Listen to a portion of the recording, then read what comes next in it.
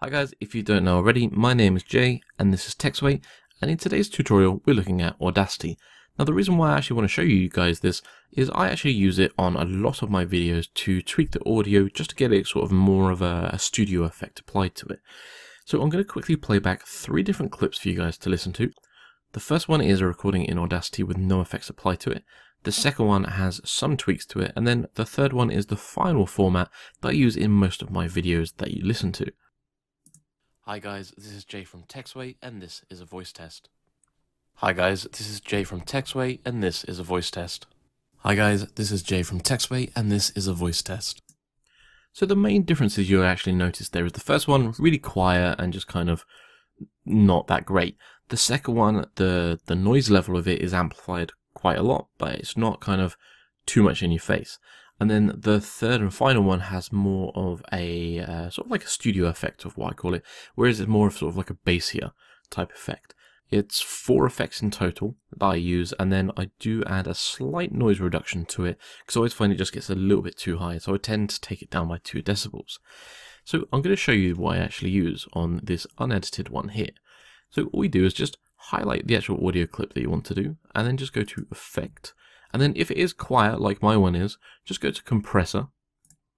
And then don't change any of the values. Make sure your values match exactly what's in this window here. These are just the default values. Hit OK, and straight away you'll see all the peaks have gone high, but it's not actually put it above zero decibels, so it's not going to be bursting anyone's eardrums.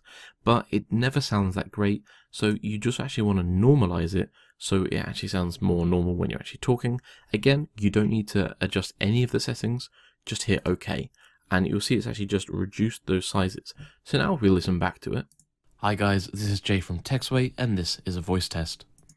You see it's quite like a, pleasant sort of level to listen to.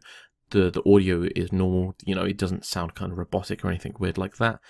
But then if you want to get that sort of uh, that bassier tone or a, a more sort of studio effect to it, Again, all we need to do is go to Effect, Equalization, and then I actually choose Bass Boost from the curb. So just hit bass Boost, and then just make sure yours actually matches this. So you might need to tweak yours slightly to match it, but you'll see it's between 100 Hertz and then just about 500 Hertz there down at the flat bit. Hit OK, and then the final one, go back to Effect, and then um, you want to go to Equalization once more, and instead of bass boost this time, we just want to up the treble boost to it this time. And then between that, that's just 4,000 to 5,000 hertz that that bar actually goes up to. So then that's actually going to take it up to this value here, which if we just follow across, you'll see is 9 decibels. So you're going from 0 to 9 between the 4,000 and the 5,000 hertz range. Hit OK, and then all I do, because if we listen back to it now... Hi guys, this is Jay from Tech Sway, and this is a voice test it's quite um it's quite close to sort of like being almost slightly distorted. So for that, that's why I actually just go back to the effect and then just hit noise reduction and I reduce it by 2 decibels.